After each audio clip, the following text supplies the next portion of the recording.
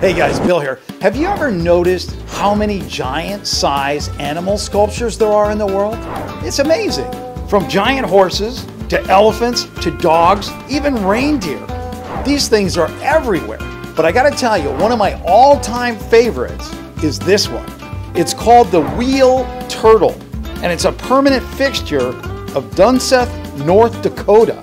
Now, the reason why I like this one so much is not because it was made by some famous sculptor or something like that. No, this one was made by the guy who owns the gas station across the street.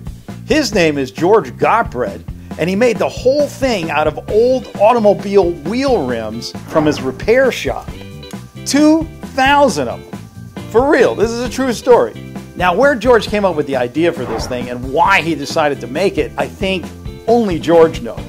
But my guess is it might have something to do with the fact that there are large animal sculptures all over North Dakota, like this one, and this one, and even this one. I mean, it's just something people do in North Dakota. I mean, who knows? Maybe they're jealous of South Dakota. You know, I mean, with, they got some big sculptures down there too. But for some reason, the people in North Dakota are much more into the animal thing. So I don't read anything into it. I think it's, you know, art, First Amendment, you know, I'm in tune with all of it. The other thing is, is there's a mountain range called the Turtle Mountains that are very close to this town, and this is kind of the gateway to those mountains. So it makes sense that it would be a turtle, right?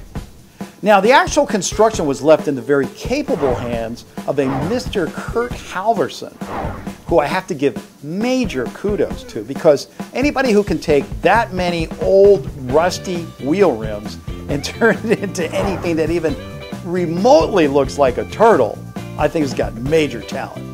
And that, my friends, brings me to the question of the day. Do you think the Wee'l turtle is like the coolest giant animal sculpture ever?